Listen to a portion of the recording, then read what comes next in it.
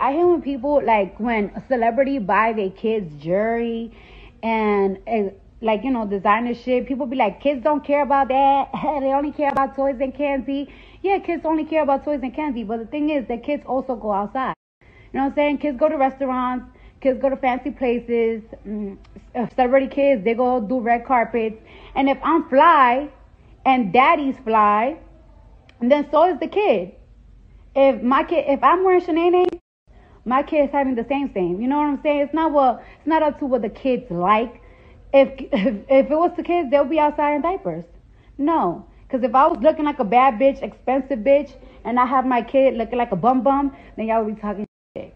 So I'm not mad that daddy bought baby a Birkin. She gonna match mommy.